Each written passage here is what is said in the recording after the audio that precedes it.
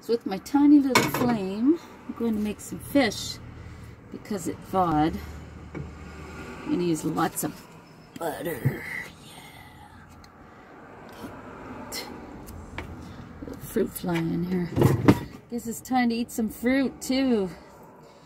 And I got these um really neat garlic scapes. Oh my god, I've never had them, but I keep hearing about them. I'm not sure exactly how you, you probably should use garlic with some kind of sauce in them.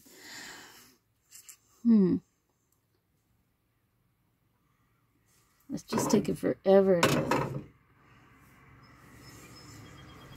I made coffee yesterday and it took about an hour to percolate into coffee because that's how low that flame is.